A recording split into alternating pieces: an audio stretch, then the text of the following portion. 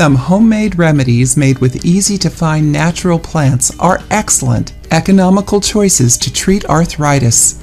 They are usually able to decrease inflammation in the joint and helping relieve pain. Therefore, these homemade remedies should never be used as a substitute for the treatment prescribed by a doctor. They only help to alleviate the pain or prevent it from recurring. 1. Homemade Rosemary Remedy Rosemary works to restore the joint, which is what makes it a great addition to anti inflammatory medications. It also helps reduce the symptoms of rheumatism.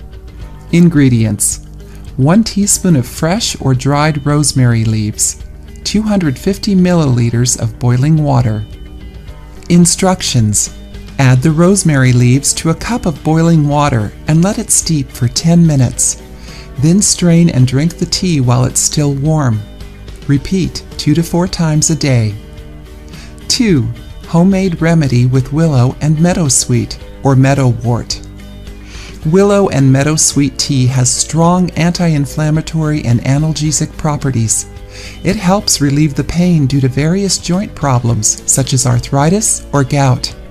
In addition to that, since the meadowsweet helps to slightly lower body temperature, the effect of the tea can be felt for a longer period of time.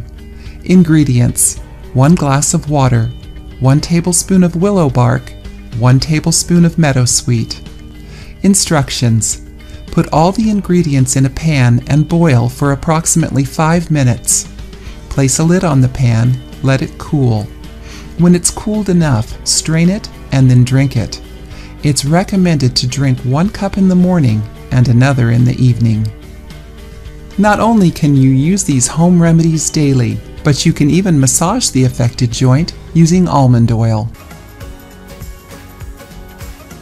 If you liked the video, give it a thumbs up and share it with your friends. For more recipes and tips, subscribe to the channel.